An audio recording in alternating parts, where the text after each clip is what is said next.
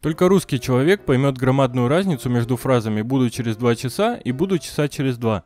Ну да, я тут согласен. Через два часа – это строго через два часа. А часа через два – это может и вообще никогда. В Инстаграме. В реальной жизни. Ты храпишь. Я не храплю, мне снятся мотоциклы. Всем привет, дорогие друзья, меня зовут Алексей Сова, и в этом видео я собрал лучшие приколы из интернета. Поехали!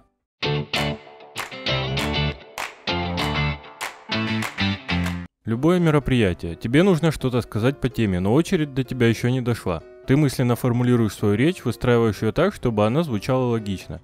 Очередь доходит до тебя. Ты. Ну, в общем, это самое, что я хотел сказать. В общем, так сказать...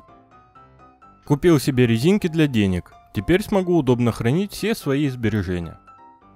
Лего выпустили тапочки с толстой подошвой для предотвращения травм от игрушек. Кто-то пишет, почему их не выпускали раньше, столько бы ног спасли. А можно было сделать эти тапочки вообще из самого конструктора Лего. Когда кот погрел одеяло своим телом. Лохматый бро. На собеседовании. Почему вы хотите у нас работать? Знаете, всю жизнь моей мечтой было не умереть от голода. Размер Земли, размер Юпитера, размер укуса моего друга, когда он просит дать попробовать. Знаете это чувство, когда через несколько лет после выпуска стоишь перед дверями родной школы и так и тянет вернуться, хоть на время, снова окунуться в школьные годы? Так вот, у меня его нет. Давай переедем. Давай, а кого? Что? Что? Короче, Настюха, вот типа мое сердце это как бы дуршлаг, а ты типа макароны. Выходи за меня. Я согласна. Привык всегда записывать свои расходы. Транспорт 40 рублей, газета 20 рублей, не помню куда 17 521 рубль. Да, друзья, я тоже как-то пробовал записывать свои расходы, и у меня большая часть, наверное, процентов 80 или 90 расходов уходила в категорию «другое». На что я тратил свои деньги? Я, конечно, все понимаю, но почему этот волк сейчас едет со мной на метро? Кто-то пишет, потому что у него нет машины, что тут непонятного?